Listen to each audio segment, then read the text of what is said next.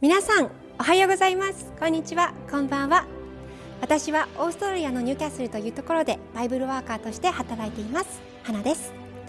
えオーストラリアはまだ少し寒くだんだん春が近づいてきた頃ですが皆さんはどうお過ごしでしょうか？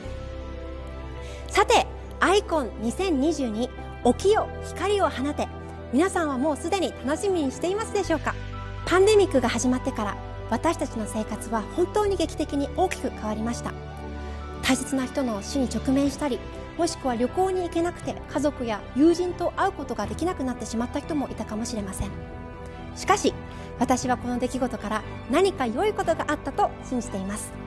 聖書には神様が万事が益となるように働いてくださると書いてあるからです。パンデミックを通して神様は神の民たちを一つにつないでくださいました。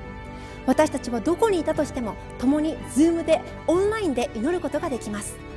また証を撮影してそれを YouTube に載せるだけで日本だけではなく世界中にそれを発信することができます。そうです。世界デビューできてしまうんです。こんなにも世界がつながっている時代は今までに一度もありませんでした。だからこそ私たちはどのようにイエス様について伝えていくべきか伝道していくべきか共に考える必要があります。アイコン2022必見です。